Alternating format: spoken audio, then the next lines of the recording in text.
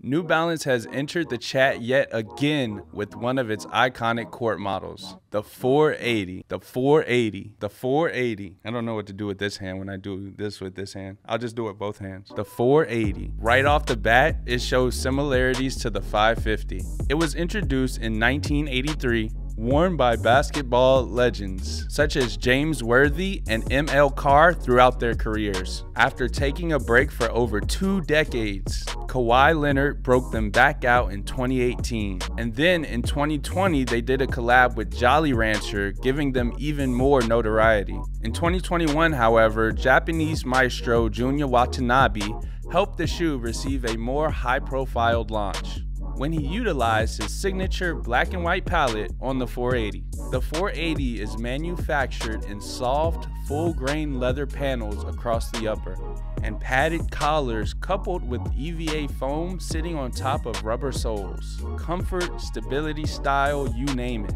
These are available in men's, women's, and kids, so get them for the whole fam. Launching a quartet of colorways come late fall. The brand's revival in this model is calling for basketball nostalgia.